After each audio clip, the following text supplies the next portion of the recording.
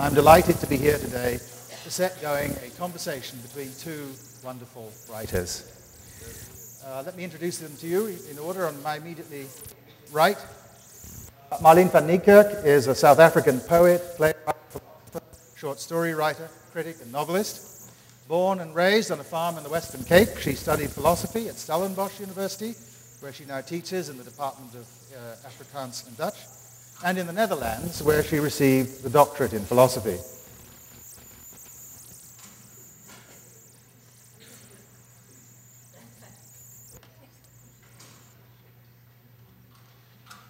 In between writing her master's and her doctoral thesis, she spent the early 80s in Germany, where she studied directing in the theater.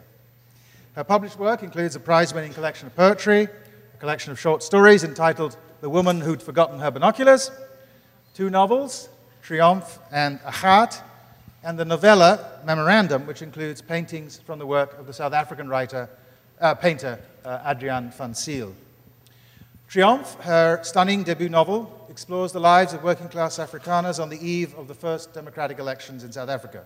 It was the first work in Afrikaans to win the NOMA Award, the most prestigious uh, um, uh, prize in African publishing.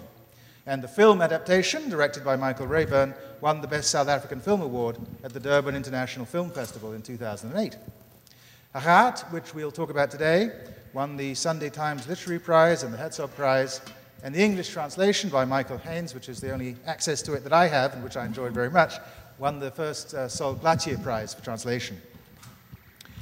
Um, it sometimes seems otiose to introduce someone, but anyway, Toni Morrison is the author of nine novels which have appeared every few years since her own 1970 stunning debut novel, The Bluest Eye. She's also published children's books with her son and the experimental short story Recitatif. And she's the author of the play Dreaming Emmett and the libretto Margaret Garner, and of a number of works of nonfiction reflecting on literature and on contemporary American life. Born in Lorain, Ohio, she was educated at Howard University and Cornell University, where she took degrees in English literature. In the 1960s, as an editor at Random House, she was a key figure in introducing American readers to African American and, relevantly today, to African writing. Since The Bluest Eye, she's published the novels Sula, Song of Solomon, Tar Baby, Beloved, Jazz, Paradise, Love, and last year, A Mercy.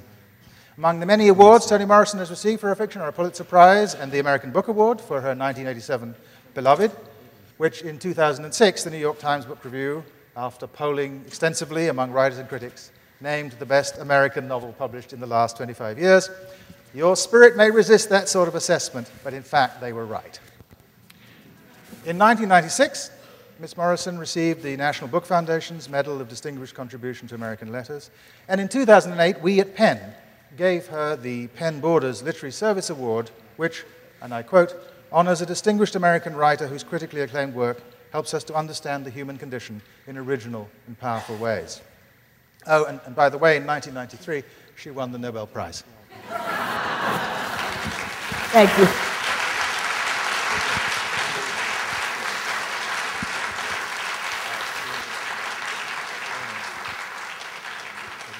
Uh, so, welcome to you both. I hope your microphones work more successfully than mine.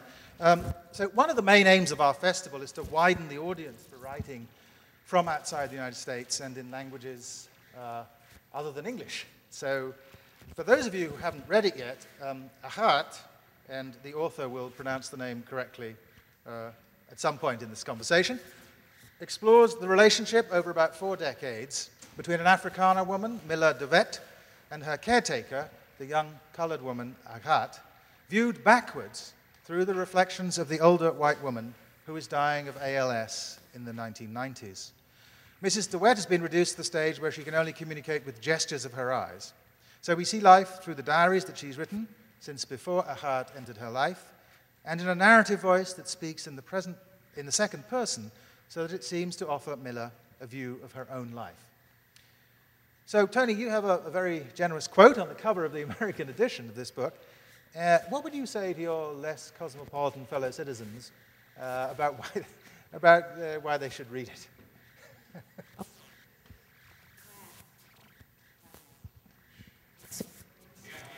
oh, uh, How are we doing?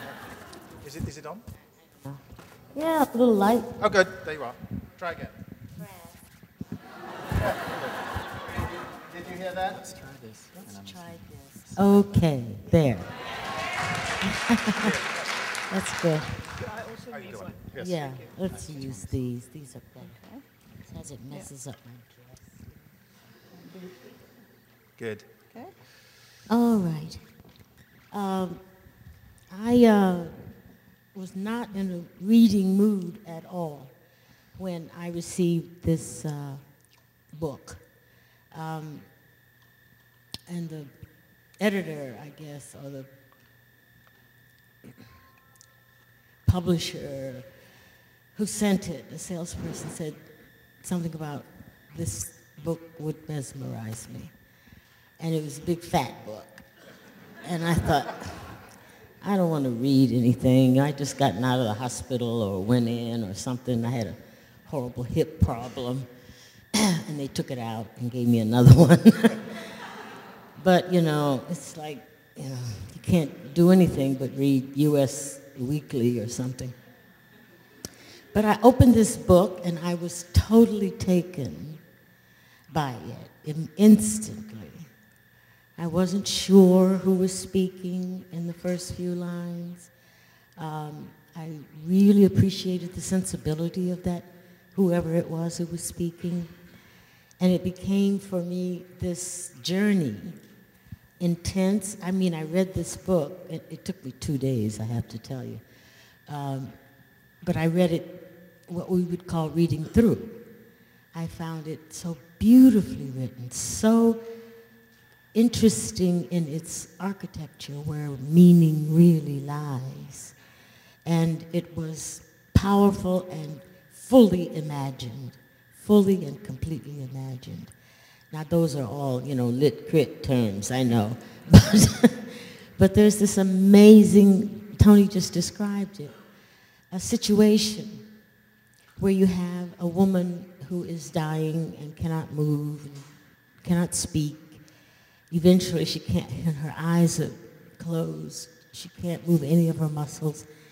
And she's totally dependent on um, black woman whom she rescued as a child, a thrown away child, a castaway child, and trained her to become what she is, which is a very competent, very loyal servant, but who also has her own um, mind and uh, uh, manipulative strategies, which she learned from the mistress. I know I'm going on and on, but anyway, that's the that's the, the, the place. The rest of it is how we get the information that puts us at that point. How we learn where she came from, the white South African woman, what her desires are, who was this little girl, Agaat, and uh, how did she become this way, and then all of the other things in the community and the family. It's absolutely the most extraordinary book that I've read in a long, long time. You must read it. Well, that, that seems like a moment at which we should give you your voice. um, tell us a bit more about this. I mean, you, this is your second novel. Yes, I first want to say that I'm totally overcome listening here to uh, all those glowing uh, words and coming from a reader and a writer like you. I really, really appreciate it so much. Thank you. So this is, this is a second Yes, this is novel, the and second it's, novel. It's one thing that's fascinating for me about it. It's, it's very different from your first novel, not in that it's, of course, it's also, your first novel is a work of great craft Mm-hmm. as well, but it's, it's a completely different setting, it's a completely different um, sort of, it's, it's, it's rural rather than urban, it's solid, sort of burgher rather than working class. I mean, everything about it is, is different. So you've, you've imagined two worlds. They can't both possibly be yours. Nobody could have come from both those places. is, is, this, is, this a, is this more like the place you came from than Triomf? It probably is, but um, not entirely either. Um, there's a long answer and a short one to this. I We could, have time. I could, I could say that I think most people think the books are very different. But I think um, the books are two different forms of camouflage of the same story, which is a family story. You would have noticed that there are four members in this family, whether they're low class white trash or whether they are educated burghers with quite a bit of personal narcissism to look after. And then you have in both families the backroom children. Yeah. And uh, both of them live on the margins of their families. They've learned their dirty tricks within the families. And in the backrooms, they uh, do some magic stuff. But they can't entirely liberate themselves from the families either. They're caught in that. I don't know. Uh, when I saw this pattern, which I didn't know when I started writing Agaat, I thought, oh, oh, how am I ever going to get rid of them?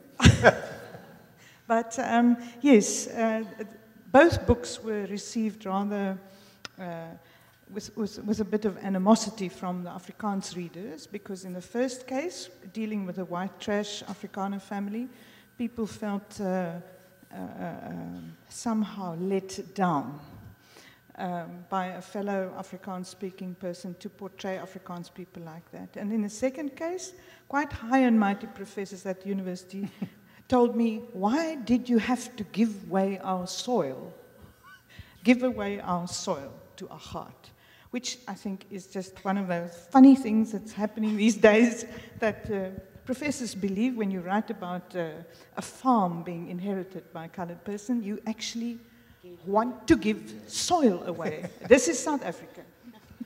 So it's, it's natural, of course, uh, for us outside anyway, and maybe it's natural for South Africans too, to read this as an allegory of your nation's history.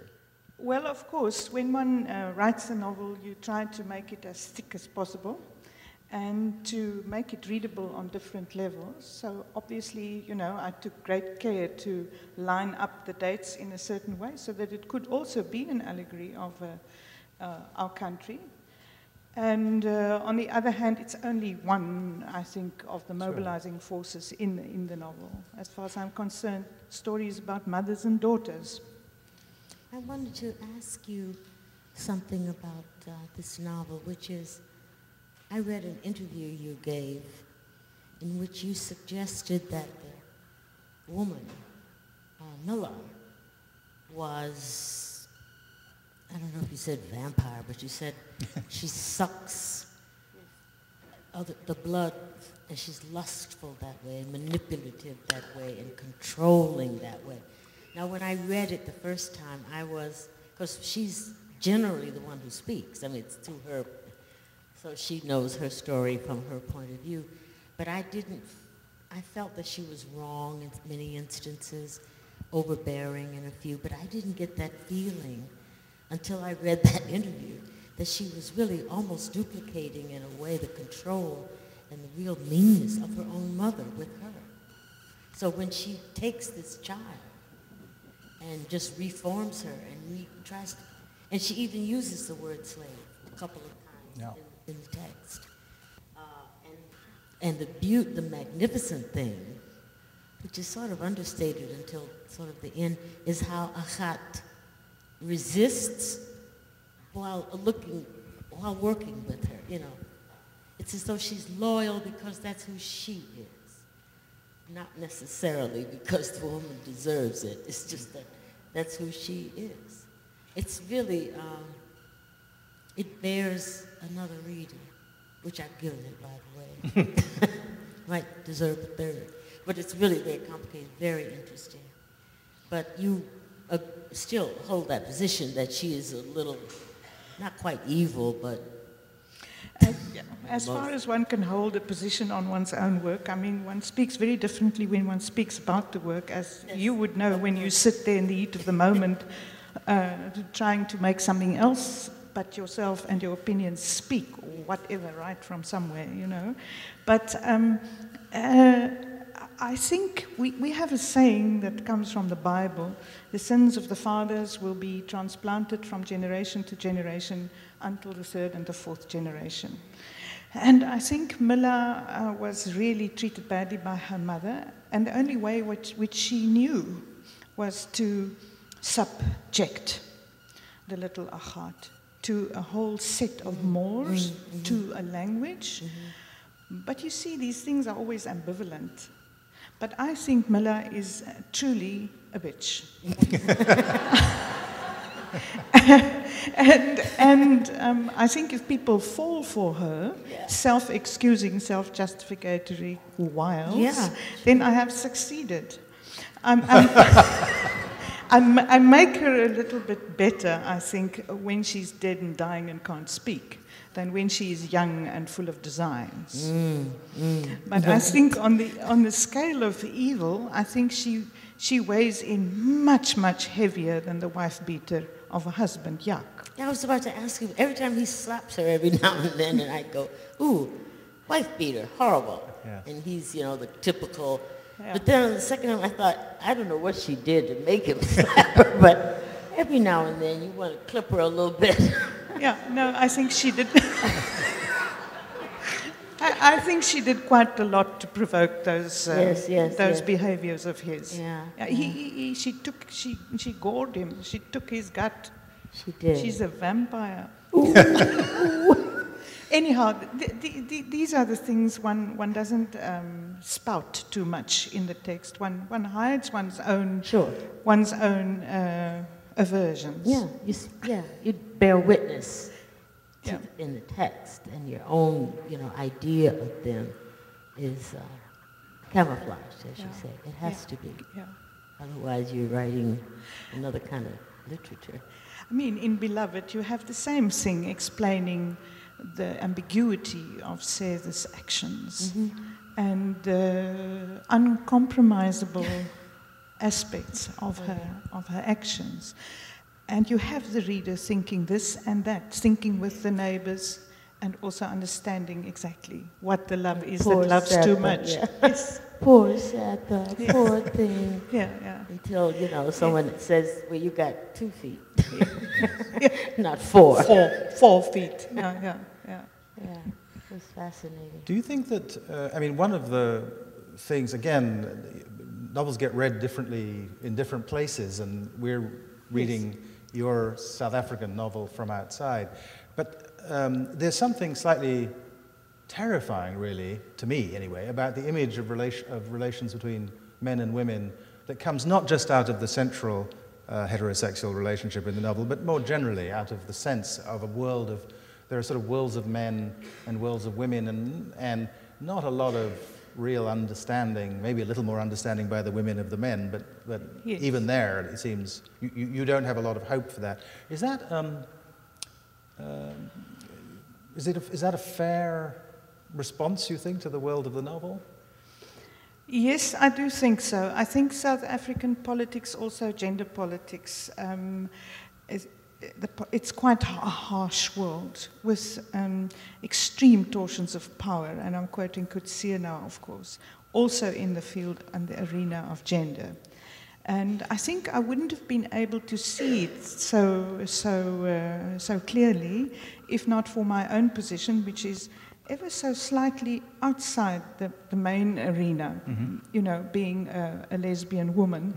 Um, I, I somehow seem to have, uh, uh, I think, understood or be able to see more uh, of the way in, in which the dressage of women uh, works and uh, the dumbness of men is fed by that and um, actually upheld by it, and in which the people can't grow, also in intimate relationships. But, but one, of the, one of the consequences, at least in the novel, of this is that uh, relations between men of different generations are also terrible, Yes. basically, Yes. in this novel. Fathers and sons. I mean, Yes. uh, of course, the relation, if, to the extent that Agaat is a kind of child of Milla, a kind of child substitute, that's not a perfect relationship either. But there is real love and, Yes, uh, there is. and uh, Yeah. sympathy and understanding as But well as there's that. that wonderful relationship um, between her and young Jackie. Yes.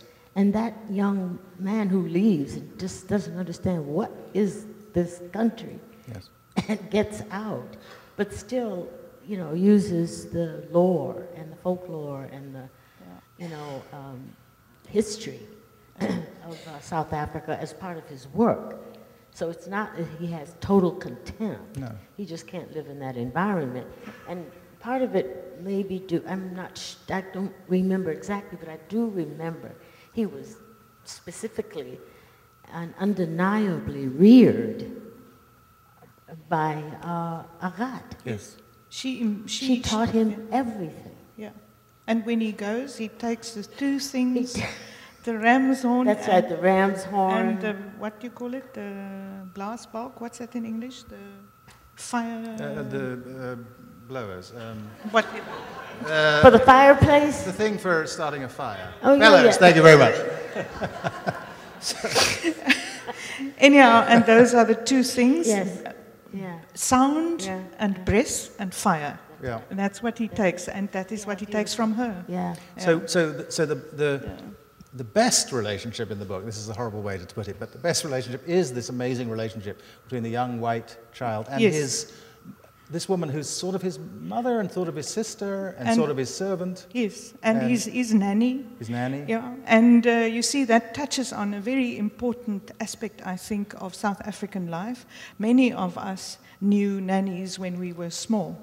And um, I think many young children, young white children, from the early days of the slaves in, mm-hmm. Cape, in the Cape, uh, first feelings of attachment, mm, mm. uh, often being suckled by slave mm-hmm. women. Um, Agaat mm-hmm. also starts to lactate uh, through her closeness with him. And even the eroticizing of the baby's body, that happens through the nanny. Sure. So the attachment patterns are often very much influenced by these 1st um, first wet nurses. I do. You know, I've always thought that um, uh, there's certain major moments in a person's life that are significant turning point. Psychiatrists identify the first time you realize you were a boy or a girl or both or neither or what, or this was your parent. I always thought that in some instances there's a moment when a young child, particularly in the United States and in the South and in those days, realized that he or she was white. And if they had a nanny or a nurse such as the one you described, and most of them did, they are then told, generally just before puberty, you can't love that person. So the first love they ever had that was free and open and beautifully equally exchanged with all, is they're now told that was a bad thing you did. This person is someone you have to control or manipulate, so on. That does not happen with No, Jack. He no, keeps. he keeps the Yeah, feeling. I yeah. think he's a bit scared of her later, and he sees what she's capable of because she's going to keep the shrine of her mistress alive. I don't know whether she's going to, you know, ever exit from the melancholia of that process of mourning the person who Yeah. shaped her Yeah. and who determined her fate. But there's, there's only one little um, reference to something interesting or sexual or erotic, and that is when Jakkie is a reference to Jakkie teaching Agaat how to dance in the back room. Oh, yes. Just a tiny that- reference. But um, I mean, I had to cut out about 300 pages of Oh, this, no! as you What know. is it now? Eight, 800 pages? exactly. I They want those 300 pages. But anyhow, I mean, that, that back room was also Yes. the laboratory where Lucky, uh, Jakkie's um, sensibilities, I think, right. were shaped. Uh, the her sounds and the songs and you, and, the and you whatever. end with yeah. that story Yeah. Yeah. that we sort of get. But at the end, she, she told him every night there was a woman once who. Yes. and, the, and their, their initial meeting. And every word he memorized. And when she was, you know, when she missed a phrase, he would correct her. That's a really, really beautiful relationship. And it, you know, whatever their origins and their different motives, there's a kind of um, beautiful uh, freedom and dignity in both of those people, Yeah. in Agaat as well as Jackie. Jackie. You know. Jakkie, should we call him? Uh, but he's gone. He's gone. He's in Canada. He's in Canada, by the way.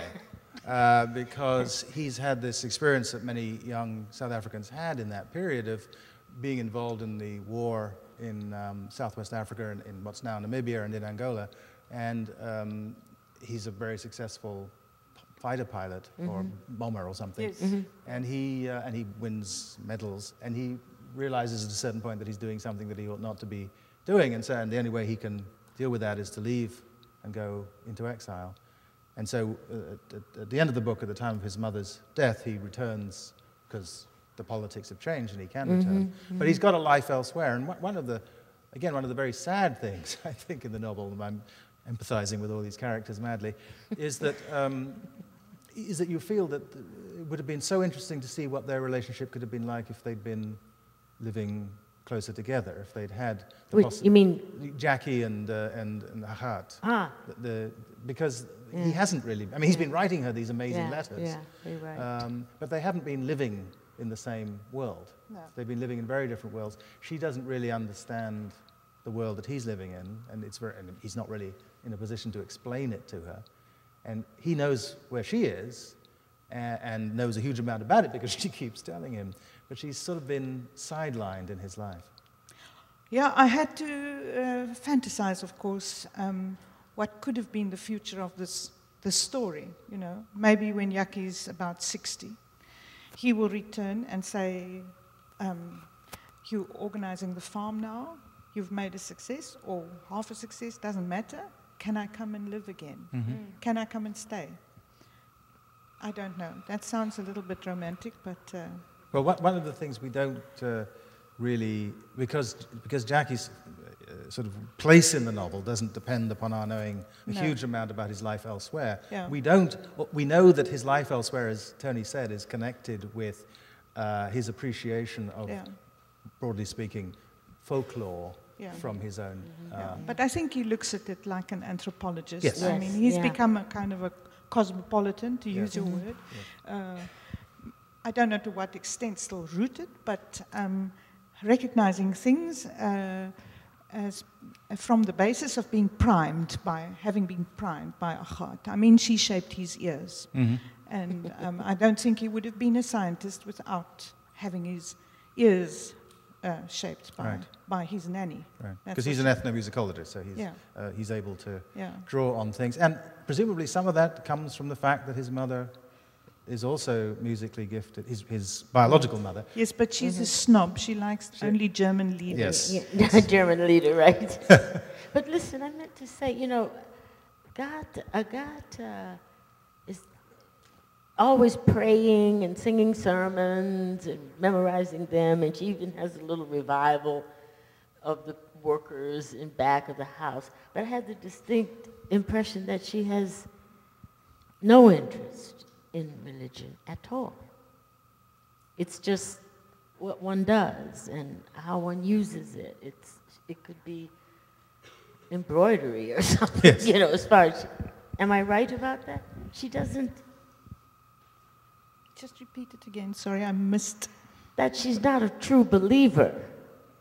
In. In the religion. Religion, she's always Okay. praying Yeah. and singing sermons and, No, she's not a true believer at all. no, But but I think but she. she uses biblical things constantly. No, she made her own brew of whatever it is, she- and she uses it. Yeah, yeah. yeah, no, no, yeah. she. Uh, I don't. I don't think she's a believer, except in her own truth. In her own and she self, yeah. created some rituals for herself. She can run that farm, though, can't she? Well, I don't know. Somebody one, once asked me, what would the farm be like once Agaat rules it? And I wonder about that. I think she will be quite a tyrant. I wonder how her relationship, would, how her yeah, yeah. relationship with the with the But workers would. technically, she would know everything. Now, technically, she would, but I don't know about her human The relationships. relationships, yes, Yeah, you're and- right. Yeah. One of the ways in which her attitude to the universe, let's say, shows up is in these strange moments when she's out there uh, in the hills. And Milla can see her sometimes Yes. doing these Yeah. things. She's doing with her and hands. I I could never quite figure out what, what all that was about. now, what, what happens is that when she's small, Milla teaches her uh, a little dance that's called Greeting the Sun in order to correct her posture. And when, Ah. once she gets demoted to the backyard, to the nanny's room. Yeah. She appropriates this dance and makes it into another thing. It's not a pretty dance anymore. It is a ritual, exercising, stamp footing kind of angry right, thing that she yeah. does to give Ah. herself some power Very good. in the hills. I think. I think it's that. Very good. Yeah, uh, Anyhow, uh, So, you, you, I, I wondered, I mean, so uh, I think we've given you enough reason Yes. to, read, to read the book if you haven't. Um, we, we, certainly enjoyed it very, very much, and um, cl- clearly uh, you're, you're committed to it. Um, I wondered if we could turn a little bit now to talking about the, your situation, as it were, as a writer. We, we talked a little bit about your sense of being a little bit outside the sort of uh, the, the center of Afrikaner life. But, um, but Afrikaans itself as a language, and it's the language you write in, uh, is placed a little bit strangely, even though it's called Afrikaans, it's placed a little bit strangely in Africa itself. One of, one of the things that I found interesting in the novel is the way in which, again, for an outsider, it's striking that um, the people's racial positions are so taken for granted that if you're an outsider, it takes you a while to figure out who's white and who's colored and who's black. I mean, because uh, in that world, everybody knows who they are. Who they are. Um, but of course, Afrikaans is, is the language of the, the, the group that created uh, apartheid. Um, it's, a, it's one of the 11 official languages of South Africa now, but it, it clearly has a, and it's also, uh, one should insist, of course, a language uh, which is spoken by as many non-white people as, as white people. It's not a white person's language. Um, but it does have these associations. And I'm wondering what it's like, especially because you're a poet too. You've published uh, two, I think, collections of poetry, and one of them is a prize winning collection. Uh, perhaps they both are. Um, uh, but what's it like for you? I mean, does that matter to you that you're writing in this language that has this funny political place Yes, in the world, not just in your own country? Yes, of course. Um, I talked previously about um, a sense of complicity, having been brought up as a privileged white person in a privileged place, and um, having the benefit of that. I mean, sitting here today is to a certain extent because of the way I've been educated and had certain privileges. So one is complicitous to the bone. But then, how do you work with it? What do you do with it when you write? You can't help it, like all of us. I mean, you're born in a place, in a certain place, with a certain color, with a certain language that you learn at your mother's knee. Um, there's a long answer to that as well. Um, Afrikaans grew into a fully developed language in rather doubtful circumstances, as you well know. But now it is developed and it has organized for itself a literature that is at the moment um, strangely and maybe surprisingly quite vibrant. And um, one hopes for a lot of its finer qualities, the language's finer abilities to be developed even more. Um, I must also say that recently I attended a musical by young so called colored people from the Cape called Afrikaaps. Klaus. Yes, Afrikaaps, meaning the type of Afrikaans we speak on the flats. And it was a wonderfully inspiring uh, show of young uh, colored people that is not black, but from descended from the San and the Khoisan people, together with the slaves that came to the Cape, how they appropriated this language as their language and the way they spoke it, and how they uh, how they in, uh, made up or constructed the narrative of Dutch at the Cape, and um, how the, those early slaves appropriated Dutch and changed it and wrote it down in Arabic script, phonetically in Arabic script. And if you read the Van Riebeeck Association's um, uh, um, uh, um, transcriptions of court rolls, you will find those very first slaves for the first time using certain grammatical structures of Afrikaans.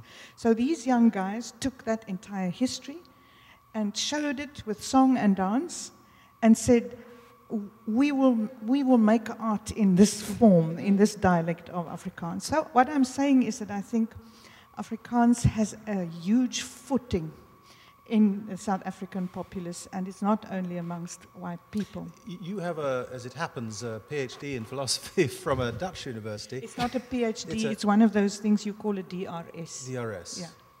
Whatever. it's not a PhD, Okay. it's below a PhD. Um, uh, in my family, most people think, seem to think there's nothing below a PhD, but um, Anyhow, so, yes. but, yeah. but so you, you've lived, you've lived with, you've lived with Dutch yes. as it has developed in the Netherlands, as well as with Afrikaans. I'm curious as to how you think modern Afrikaans sounds to a Dutch speaker, because one of the great questions about uh, literature in English is how um, African writing in English, or Australian writing in English, or Indian writing in English sounds to those who speak uh, the, the language mother as, tongue, as it's yeah. developed in America or in, or in Britain. I think the Dutch often find it, what's the word, um, aandoenlijk. They, they, they find it um, kind, kind of cute. Cute. Um, it's like sort of baby, it- baby talk. because it has simplified the grammatical Ah. structure. Semantically, there's about a 60 to 70% overlap, but grammatically, it's simplified. Ah. Uh, idiomatically, it is idiosyncratic. and um, also influenced by the other uh, languages, indigenous languages in South Africa. But I think it's pretty much an indigenous language with a sorry history. And I do think when one writes it, one is aware of the sediment of history in the vocabulary, in certain of the ways of expression, and one tries to account for that. So one has a bit of a, a double task as a writer in Afrikaans. You don't want to lose the tongue. The tongue is under pressure at the moment. Um, the Afrikaans universities are under pressure at the moment. Um, also, you want to acknowledge its history. You don't only want to acknowledge that you are the constructor of the story that you write, but you are also very aware of using a language with a, with a doubtful history. And somehow try to remedy it or help it or lift it up or do something with it to say, you know, al- although it, it went through this, uh, and it, although sentences were said in it, like those by Jimmy Kruger when Steve Biko died, dit laat my koud, this leaves me cold, together with formulation of many of apartheid's worst laws uh, in Afrikaans. I mean, all of, all of my generation sort of sit with a certain shudder in the veins when we remember what has been said in the name of and, Yeah, and with our language. Yeah. So, so yes, it feels like a kind of a task. You can't really penalize language. No, you can't penalize language, but I you mean, see, but people do. I mean, German. I had friends who said I cannot speak German because, Right. or you know, well, no, one has to speak it, but the point is you, you must speak it. with full consciousness of what. Yeah. Um, uh, uh, I wonder whether, I mean, because another thing you did, uh, as I said, uh, when I was introducing you for a period, was work in Germany uh, in the 80s. So the question of the relationship of Germans to their own language and history is also a very big one Yeah, there. And I wondered whether you, there were echoes. No. Yeah, have this. Hello, it's working now. Um, uh, I once heard, or once read a, a- an essay by a German critic that said the word spritzen. Spritzen is a difficult word in German in literature because of the Horst Wessel Lied that referred to Judenblut spritzt. Now, that kind of thing, for instance, you know, that layering in the history of a word, with some of Afrikaans words, it's also the same. And the layering isn't always necessary. I mean, all words are layered. Certain French words are layered for the same reasons of a colonial or post or, or colonial or pre-colonial or colonial background. So, so I think um, the weft of Afrikaans, you know, I think carries in its in its being certain of these layers, but also, fortunately, all kinds of other layers. Yes. Yeah. Well, uh, you are uh, you are very um, lucky uh, to have this language, I think, and uh, and it's very lucky to have you, and we're very lucky that you have a marvelous translator. Yes. Um, and I think we might now invite those members of the audience who have uh, questions that they'd like to ask each of these writers about each other or about, about um, other topics. There are two microphones up front, and this will work best if you line up behind them and um, uh, to ask your questions. If you're, if you're going to be shy, I have plenty of questions of my own. But uh, does anybody Good, we got people coming. Uh, good, terrific. Uh, let's start um, on the right and then we'll okay. oscillate. Um, I wanted to ask Toni Morrison a question on Beloved. Uh, could you just explain a little bit about the symbolism of red and also if that's why they have a red cover? The symbolism of red? Yeah, and you know, there are lots of symbols. It seems to me. Not orange. Blood and, you know, lots of things. Baby Suggs and colors pink. Uh, I, I remember uh, baby Suggs lying there, uh, trying to keep interested in life, and that force leaving her because she's dumbfounded by what has happened and cannot decide whether what Sethe did was okay or not. And so she begins to think about small things or major things as life leaves, and so she asks for color. Um, there isn't very much in the book. There's the blood in the beginning, and some recollection of Sweet Home uh, and its beauty. Um, but the book is really sepia. So when she asks for, would she say, bring a little pink if you got any? Is that what she says? Bring me some color pink if you got any. And, you know, even if it's somebody's tongue. Um, but for me, it was a moment, as in other books, where the flash of color is, is theatrical because there's none anywhere else. It's very sepia, very neutral, you know, and then there are other books, like Song of Solomon starts out with red, white, and blue. You know, the most patriotic collection of colors I could think. So for me, it's just, a, it's not merely, but it is a kind of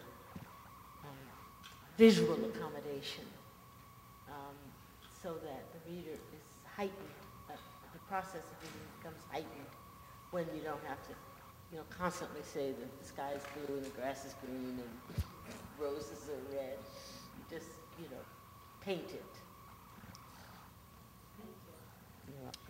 Hi, uh, my question is about the Nobel Prize. So last time I checked, uh, Professor Morrison, you were the last to win from the United States. So I was just wondering your thoughts on that. Um, we've heard from the Nobel Committee that Americans apparently are too provincial in their writing, and thus they can't win it. Uh, Europeans we've seen basically have a, a monopoly on it in the last decade or so. So I'm wondering what your thoughts are, and maybe if you want to tell us which American author should win next. I don't know. I don't know. I, I heard that recently that they're, the committee is sort of hostile. I, you know, I always thought that uh, the people who really uh, deserved the Nobel Prize for Literature were in this country, uh, not to exclude anybody else, but were the playwrights. I mean, why not Tennessee Williams? I mean, no one has really, or very few people have written better, more interesting plays than American playwrights. And, and they gave one to Dario Fo, I mean, you know, the Italian playwright. So, but that's where I thought they should really look. Obviously, in the, you know, the, the major novelists, you know, I wanted everybody to get it so they would stop harassing me because I got it. um, but that's what I, I that, I've always thought that. You know, I know they give to the living, but there were all sorts of people whom I thought in the past, uh, particularly among playwrights. Arthur Miller, and I mean, there's just any number of them. Uh, Peter. Thanks. I, I would like to ask about the, your views about the uh, talk about the post-racial society in light of the presidency of Barack Obama. It seems it's sort of nonsense, but and race still matters. And so, in what ways race does matter in your view and in your writings? Did everybody get that? So this was a question about uh, uh, what we should feel about, well, actually what Toni thinks about a talk of a post-racial society, and uh, he was, uh, Peter said uh, race clearly does matter, so this sounds like a kind of nonsense, but uh, is there some, some, truth to it? And I think we might invite Marlene then to, to help us think yeah. about yeah. the ways in which um, literature and culture in South Africa have been mm. shifted racially since 1994. Um, there's a lot to think about. I never thought that the post-racial idea was real. It sort of seemed like fantasy to me. Um, a good fantasy, a good dream, but not real. Um, the election of Barack Obama. Our second black president. I didn't mean. I said they treated him like a black man. Yes, yes. Anyway, uh, the, the, election of Barack Obama was an occasion for two things. One, a conversation about the possibility of post-racial. It also was the possibility of extremely, you know, racist, not just racial, commentary. Uh, even though everybody knows that none of that applies, the human race started in Africa, everybody knows that, that there is no such thing as a Mexican race, or, I mean, these things just don't exist biologically, scientifically, the separation of people, but they're cultural and, you know, and ethnic differences. And the differences may, don't have to be, you know, pulled together in a big melting pot. It's a question of hierarchy, not difference. It's, mm hierarchy. That's the problem and the solution. But I find now that there's really no way to talk about it. I mean, the language that is at our disposal to talk about race uh, is, um, is destructive and, and limiting, and it closes, shuts doors. When I wrote that uh, story that you mentioned called Recitatif, and I was very careful not to identify the race of either of those girls. And at all. Just use cultural clues if anybody was interested. And I repeated that again in uh, Paradise. Yeah. And to have those four women. But the signal race in the beginning, they shot the white girl first. So you know one person is white. But not to let the reader not to use the obvious language of race there. So nobody knows who the white girl is, or they think they do. When I read reviews, I always go, ha, ha, ha. they don't know. but but the, it wasn't so much to be tricky as to really see whether I could do actually what uh, Ms. Niekerk does without having it as a goal, which is to write long, to write without racist and racial language. You know, to, to get rid of all of the signals and to write as much as I could about each of those girls in the convent in paradise so that you know everything about them, everything about them except that. That's the one thing you don't know is which one is black and which one is white. And I was trying to say that's the least important information you've got about a human being. That is the least. When I walk down the street and I see a black person or a white person, I don't know anything. I mean, I may assert some things, depending on other things, but that's not knowledge. That's not penetration of a personality or a human being. You don't know what they're going to say. But we're using that more and more and more, as you know, you know, now in this country, uh, trying to distinguish A from B and B from C and who belongs and who doesn't. And belonging is very important to Americans because, you know, except for the original people, no, none of us was born here. I mean, none of us, we were all from some other place. We're all, in that sense, immigrants. And the other rather extraordinary thing, I think, uh, along with uh, these dis racial distinctions getting sliced, you know, thinner and thinner and thinner, is this fear.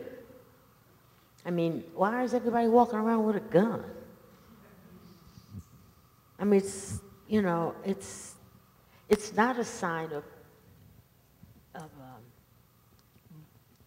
being brave. It's just the opposite. It seems to me. We're coming with why? Well, maybe one or two others. But anyway, I, I know I've changed my answer to move into other areas, but I can't bear it any longer. And I've tried in two instances in my work to see what it's like when you don't use the language that was thrown at us and the code language that we use in order to identify as well as demonize race, racial difference. Yes, I, I listen with, um, with great interest to this. Um, South Africa is still an extremely racialized society. Uh, public discourse is studded with terms like black economic empowerment. Um, in the census, when we have to fill in the census, we still have to indicate white, black, colored, whatever. Yeah? So um, and recently I read a very interesting analysis by a black commentator, a journalist, who said that in certain circles, in certain black circles, um, I, I, do this to illustrate to you how racialized the public discourse is, that um, black people would refer to other black people as behaving in a white way, etc. So, so, I mean, this is still very much part of a, an extremely touchy and mobilized kind of weighting of words around race in, uh, in South Africa. Um, lots of other things hang together with that. Um, I want to refer to a book of a countryman that had just come out. I don't know whether you've heard of it. It's called Native Nostalgia, rather interestingly, by Jacob Dlamini. And um, with reference to all kinds of um, uh, uh, fashionable, not meant in a negative way, theorists, you know, Benjamin and de Certeau and so on. Dlamini writes from a black perspective about his life in a township and the way in which black people were vibrant and alive and culturally active in the days of apartheid. Now, of course, the first thing that happens to a book like this is that right wing white journalists jump on it and say, look, look, they did have a life. Uh, you know, and one, one feels very ashamed of that kind of reaction. This is not why I have it here, obviously. But what is interesting to me is that Jacob makes a case for um, the criticism of the orthodox story, the orthodox story told by the ANC about victimhood. Mm -hmm, mm -hmm. And he is quite clever and quite succinct in his, um, how shall I say, rejection of the notion of victim. Mm. Also in writing about his own youth in the township, during which he uses a lot of, how shall I say, appreciative terms of a certain pride that is reminiscent of the way in which Steve Biko talked about blackness in South Africa. So I think a lot of work um, still has to be done by young black um, writers to, I say, resuscitate the spirit of Biko in a way and reclaim for themselves um, a, a kind of cultural dignity in, instead of going with the flow of the ANC's um, uh, victim story. Um, and I don't mean this that people are not victims. It is a fact that in South Africa, only 11% of the total population earn more than 2,000 Rand a month. How much does that come down to in dollars? Uh, about two, 200? 200, something like. Only 11, only 11% of the total population in South Africa more than $200 a month. So that shows you how apartheid has made victims. In the 40 years of its reign, it has made, eh, of its reign, eh, its reign it, it did make victims. And people are caught in spirals of poverty and lack of ed education and illiteracy and so on and so forth. And so one doesn't want to diminish the damage that was done at all, at all. Uh, at the same time, I think it's inspiring to read someone like uh, Dlamini, who's doing a PhD in history at, um, at Oxford or at Harvard somewhere. And I think, it's, a, I think it's Yale, but, uh, uh, Yale. but let's, let's, oh, let's, let's not focus on the details. Um, but Anyhow. I, am sorry to interrupt you, yes. uh, but sorry, we have... carry on. No, no, no, no. I think it's extremely interesting, and I think it's good to end our discussion at this PEN World Voices Festival with the celebration of the work of a new, young uh, writer theorist who comes to us, from, in this case from South Africa, uh, uh, in the name and in the voice of a, of a wonderful uh, South African writer whose work I hope we've uh, helped people to come to know a little bit better. Uh, and I'd like to thank very much both of these two wonderful writers for talking to us today.